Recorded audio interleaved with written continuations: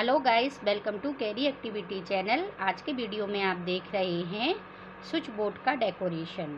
आप देखिए, ये मेरा काफ़ी पुराना स्विच बोर्ड था। इसके चारों ओर मैंने बॉल पेपर लगाया है और जो यहाँ से डोरी निकली हुई थी, उस पर मैंने सुंदर सी यहाँ पर बेल और एक फ्लावर लगाया है। उसके बाद मेरा स्विच बोर्ड कुछ इस तरह से दिखाई दे रहा है।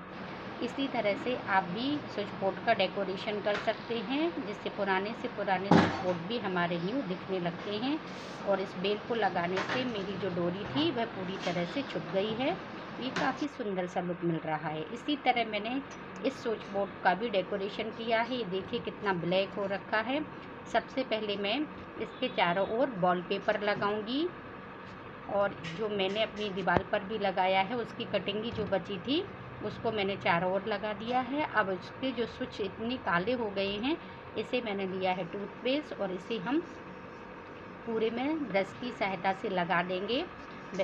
और आप ये काम करते समय लाइट का स्लीपर का विशेष ध्यान रखें, विशेष रूप से आप स्लीपर पहने और इसे आप टू मिनट्स के लिए लगा ही रहने दें।